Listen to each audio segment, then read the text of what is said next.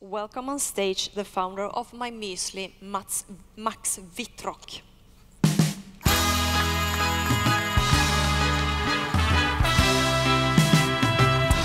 Welcome. Well, thanks for having me. We will have to practice the 566 quadrillion, uh, but let's let's do that after the event. I would propose. So, I would love to start with some market research. It's really simple. Please raise your hand if you've heard of My Muesli before. Okay, that quota is okay, but who shopped at our Swedish website or in one of our Swedish stores?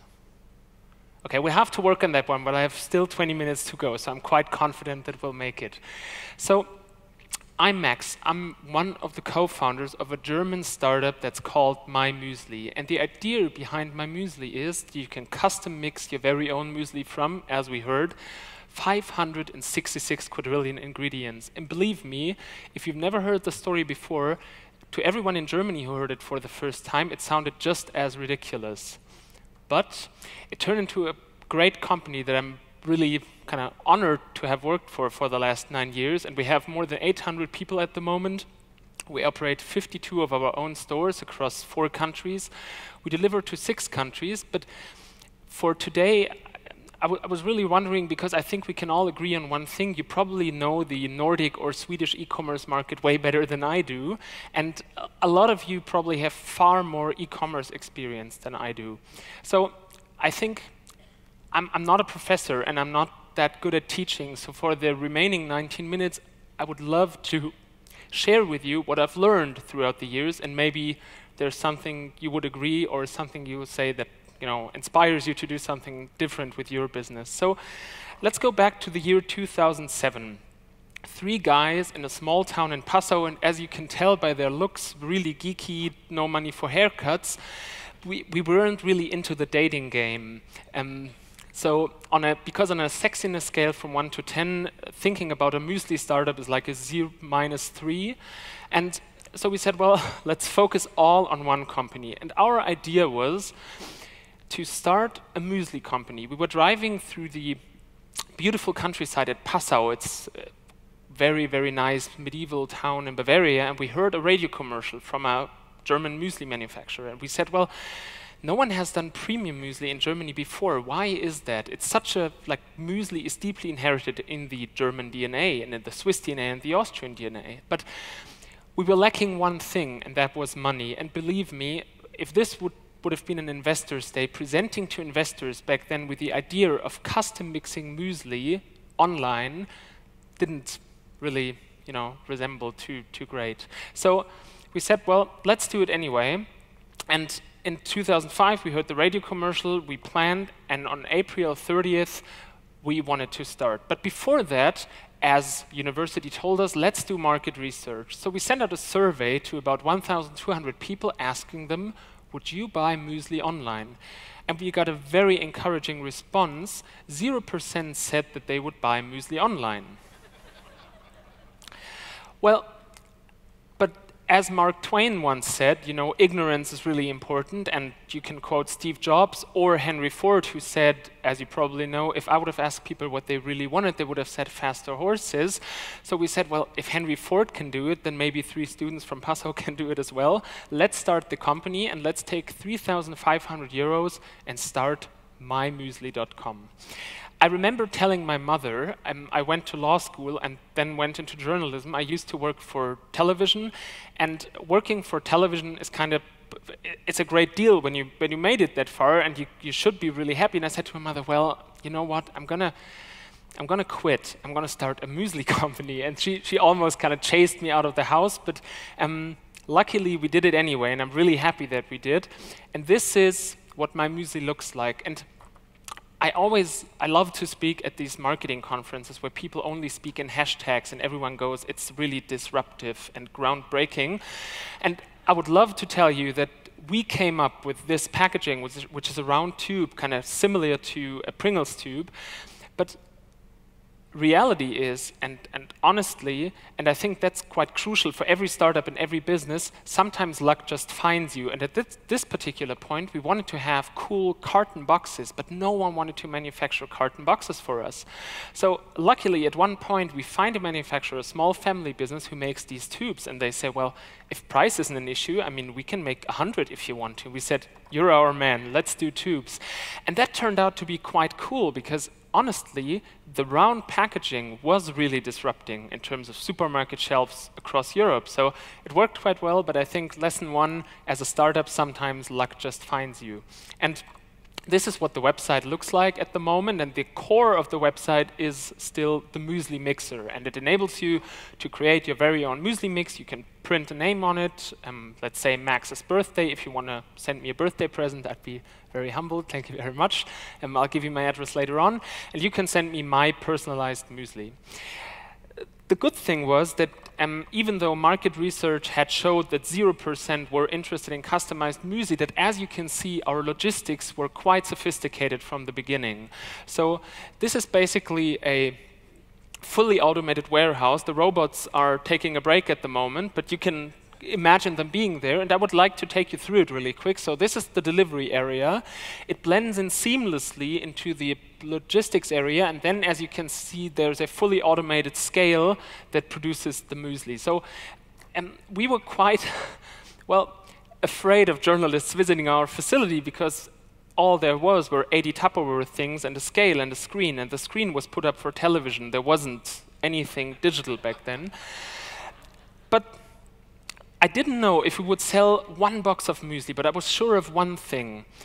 People love to see other people fail, and everyone thought that this startup would fail desperately. So I knew that my former colleagues, my journalist friends, would write about the startup because people would love to see it fail. Luckily, it didn't. Within weeks, orders picked up and up and up. We gave interviews in our kitchen. And we were sold out after two weeks. Everyone thought what a PR stunt. They pretend they're sold out. But honestly, we couldn't ship boxes for six weeks. So we put up a big magenta banner on our website saying sold out. People kept ordering, orders piled up. And after six weeks, we were sending out and they said, wow, great PR stunt. We said, well, again, luck sometimes finds a startup. So we learned from our very first lesson, small operations require you know small money now we had more money so we could set up bigger operations and we met a cameraman from South Africa who had just filmed the commercial for the Black Eyed Peas. That was in 2008. The credit crunch hit Europe.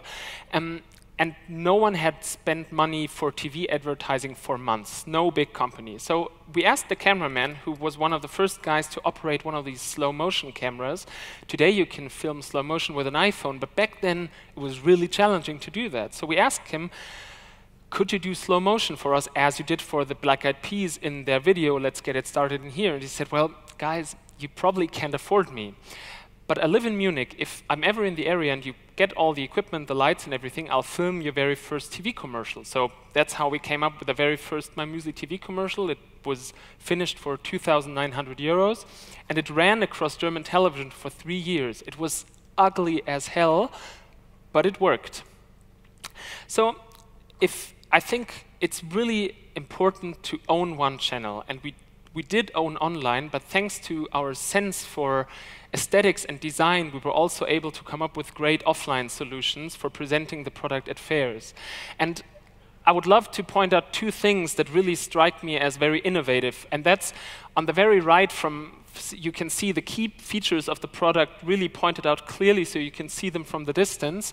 But the most important thing about that particular booth was that we didn't check whether there was an internet connection available. There wasn't, so we had to print out the website in black and white, of course, so people could browse through it on the. So, horrible. One year later, when you might, of course, like no one in Sweden ever has weight problems, but Germans, when they turn 30, they realize they can't drink as much beer as they want to, and they can't eat as bad as they're used to.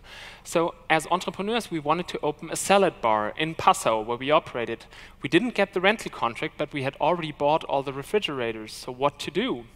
Well, Philip, one of our co founders, came up with the idea of opening a muesli store because we had all this great data. We could really tell if people liked strawberry muesli, if they kept ordering it. So with that data, we opened our very first My Muesli store in Passau. It didn't work for two years, but then you know, we learned about offline marketing, we learned how to you know, operate a store, and we were able to open different ones. So this is one in Munich, and then there's one in Stuttgart. We call this the winery. Taught me a very important lesson. Architectural renderings always look beautiful. But when you go into that particular store, you're afraid to take a tube out of the shelf. When you take out a tube, you, it's kind of difficult to put it back in, so you put it on the floor. You leave, but the the person behind the counter can't get to you because there are so many other people. So like every two hours, you basically need to close down the store to clean up. Well, we did the same thing in Cologne, we did the same thing in Düsseldorf, but luckily at some point we realized that tubes should be standing in shelves. And so in our store in Switzerland, this is the second one that we opened in Switzerland, tubes are standing up again.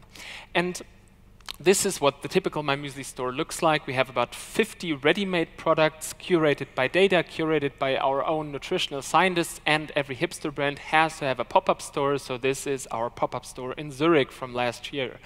And we also applied the concept of mass customization because I think um, when, when you look at the My Muesli website, you, you're always tempted to ask, like, why like what's happening in the store? Like why can't I customize it in the store? In terms of logistics, it's really difficult, but in Heidelberg, um, if you're ever in the area, it's only about 3,000 kilometers from Stockholm. Um, you should go to the Heidelberg store because there you can custom print your tube in the store with a very sophisticated 4D printing technique. And this is what it looks like at the moment. There are to-go mueslis, blah, blah, blah, blah, blah. But um, the problem was that every muesli was still produced the same way, like this. This is Tabia. She was back then, she was a literature student in her fourth semester, and she would literally count the raisins, like one, two, three. So in 2011, we really had to invest in our company. And, and again, we didn't have any investors. We had two business angels who uh, didn't own close to 6% of the company.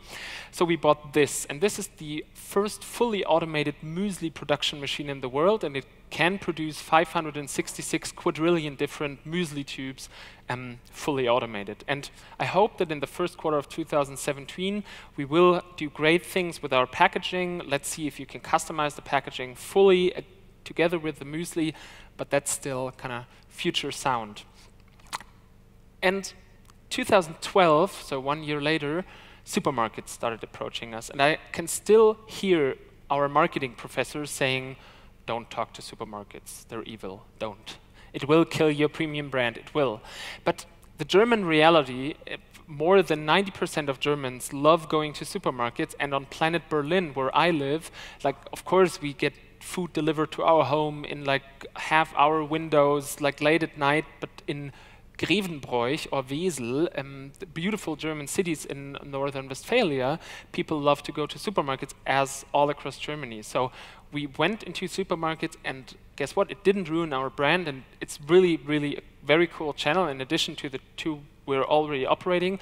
But as you are e-commerce retailers, you know that tracking people across these channels, of course, is difficult as hell, and that is a challenge that we will have to solve for the years to come.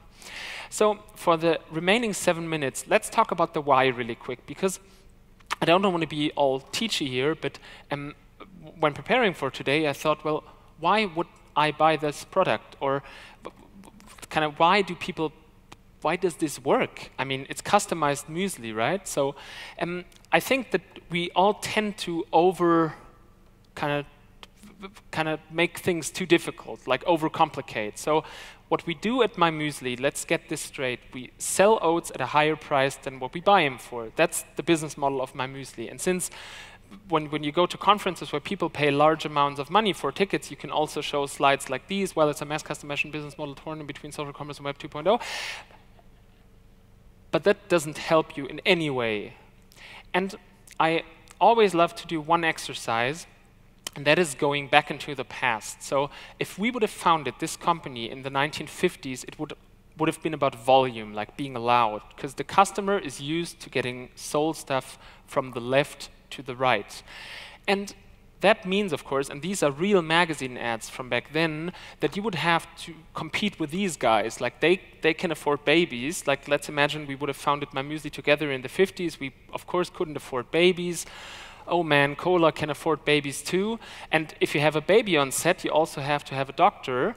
And yeah, let's take the doctor as an ad as well. More doctors smoke camels than any other cigarette. That's a real ad from the 1960s. So what I'm referring to is Without budget back then, no chance. Television did change a few things. You could, if you're Zlatan Ibrahimovic from Malmö, you could, of course, paint something across your body, run naked across the field, hug Zlatan, and then your brand would be on television, most probably. But that's kind of hard to do, right? And luckily for us as startups or e-commerce guys, and we, we tend to forget that the, e the internet changed everything. But what we're seeing at my muesli is that the world gets more complicated every day, and I tend to throw my smartphone into like any corner in the world, like at least once a week, when I am not able to answer WhatsApp chats anymore, or I don't want to. But we also see that the biggest channel for us, or the most important channel, is referrals. It's really about the net promoter score. And you did hear about the net promoter score today as well. And I can't stress that enough. It's one of the most important metrics. Would I recommend my muesli to a friend? Am I happy with the product? Was it a good experience? And that's really what we're looking for. So data and everything aside, and, and, and metrics and, and uh, retention rates, the product has to be really, really awesome because it gives people a reason to talk about you. And the good thing with my muesli, though, is um, and that is what we're aiming for when we're looking at new projects or investing into new projects, is the story of this product really baked into it? Meaning, um, does it spread? Because that's, that's basically the only thing um, I think you have to remember in e-commerce marketing. If it spreads, if it wins. If it doesn't spread, it doesn't win. If it's a shitty product, people won't buy it, or they won't won't show good retention rates. If it's a good product, people will buy it and they will re-buy it. And the eternal question that I ask myself every night is, of course, why do people dress their dog like a Jedi Master? Or why do they tattoo the Star Wars cast across their back? Or why, and I'm feeling that as a father, why do people dress their child as Darth Vader and dress themselves like the Death Star? What I'm referring to is if referrals or the net promoter score is that important, how do you get these brand fans, like people that are really passionate about your brand, that are so passionate that they would dress like a Death Star. And why do people send us my muesli cakes? Why do professional archery associations use my muesli tubes instead of the Olympic archery things? And the answer is this, um, and this, of course, is self-explanatory, but I'll, I'll explain it anyway. Um, the reason in Germany when you join one of these Trachtenclubs is not because you like leather pants, but because the whole village does it. The reason why you drive a Prius is not because you like Japanese cars, it's because you want to show the world that you're caring for the environment. And the antagonistic principle works very well too. If you love Apple, then you most probably strongly dislike Microsoft. What I mean is that by buying a product, you're giving out a statement. And that is the reason people want to belong to a group, they want to show they're antagonistic, or they want to imply that they're you know, beyond the shopping experience. That is basic, those are the three reasons why people buy the product. And it's the exact same thing with my muesli. The people that are really loyal to our brand, they feel that they belong to a group, and that we have to foster. Mm.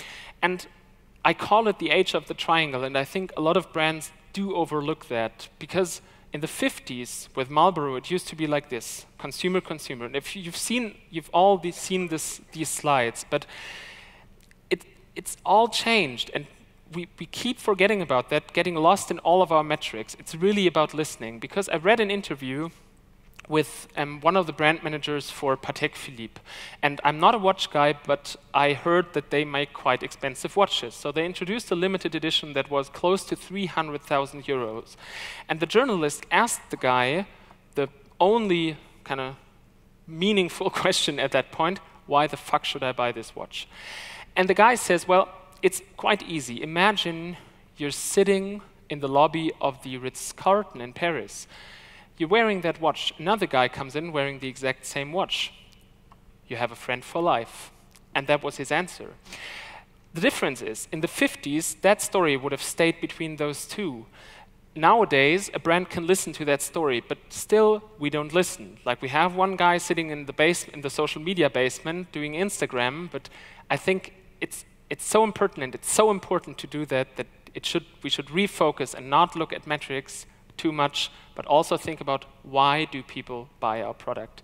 And this experience that we have with product is really a new currency. And it doesn't have to be a mass customized product. It can be a cool emotional thing. Like let's say we did a happy birthday video that we customized for all customers and we went to an agency saying, how can we customize it for all of our customers? They said, well, we have to do CGI things, we have to hold up signs. We said, well, you to do CGI for all of our customers? Gonna still one more minute. And we said, well, CGI is not the way to do it. And we did an algorithm search, and it showed us that with 61 versions of Happy Birthday, we could target 85% of our customers. So the marketing team had to sing for one day in the studio, but out came a beautiful personalized Happy Birthday video, and it again, it doesn't have to be a personalized product. There are other ways of promoting your idea and really showing people why they should buy this product. And is it easy? No, it's the hardest thing to do ever. And I think what can go wrong will go wrong. Murphy's Law always applies. And people ask us about market size in the beginning, and don't ask yourself this question. Don't go into the, as we Germans say, analysis paralysis. Just listen to your customer. Why do they buy the product? And just do it. And if if there's one book or one video I would recommend, I would stop watching TED Talks altogether. There is only one thing to be learned from TED, I think. of course, there are others, but. And I think the most important lesson I ever received was the one from David Blaine, who you can see in that picture. David Blaine is a magician from New York, and he's the world record holder in holding your breath. He can hold his breath for longer than 17 minutes, which he did in 2008 at the Oprah Winfrey Show. And the video is one of the most emotional and touching things I've ever watched in my life, as how he explains his decade long journey of getting there.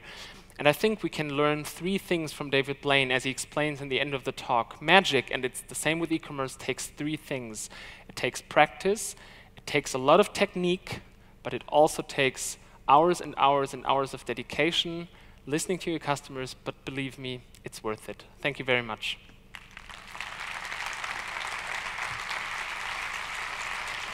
But go ahead. As you guys don't know the brand yet, there of course are two things you could do. You could either go to the website, mymuesli.se slash mueslimax, which is my personal affiliate page where I'm wearing a flamingo costume. It's worth watching. And second, we would love, since we have a booth set up with my um, two colleagues, Patrick and, and Stacy, who are sitting right, um, right there, but they won't to stand up, but you will see them um, at the My Muesli booth, and for everyone who, who comes by, we will have a free sample available so you can try our product. Thanks. Thank you. A couple of questions from uh, the panel. Yeah, I was wondering, uh, you sold out in two weeks, you said, in the beginning, right? Yes. Yeah. So how did you get so much attention early? You mentioned some articles, but was that all? Limiting the stock would be one answer, of course. You know, then it's, it's easy to get sold out. Well, but I think it's the, the, short answer is that in, in 2007, 2008, that was e-commerce stone age, and coming out with an idea of customizing food online, where everyone else was looking at Facebook, caught so much attention that in terms of PR and blogs, we really got a lot of coverage that led to sales, that led to be sold out. I'm a bit afraid to ask because I think you're already over time, but I, I, will do it anyways. In, in this crazy journey you've been on, because it's been fantastic, and thank you for the great presentation. What is the single biggest mistake that you've done and learned something from?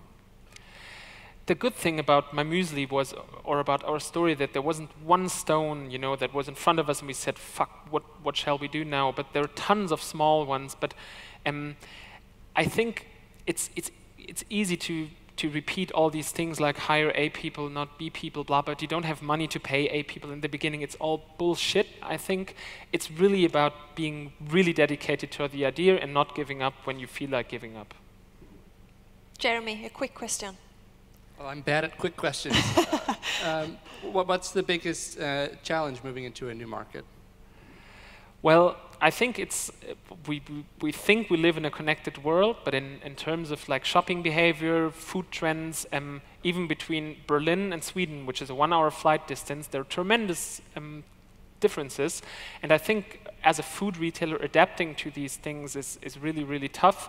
Um, but we're still learning, and since we plan to do it for, for the years to come, um, I will be glad to, you know, teach uh, or speak about this experience in 20 years, you know, being old and all gray, and then I'll know the answer. When will you open a My Muesli shop in Malmö? Well, I'm also um, my good friend Zlatan Ibrahimovic um, and I. Um, we plan to open the Zlatan Ibrahimovic My Muesli store right across um, this building. It's going to be 1,000 square meters, and it's going to open third quarter of 2017. Oh, I'm looking forward Yeah. to that. Thank you so much, Max, Thank you very much. for coming. Thank you. Bye.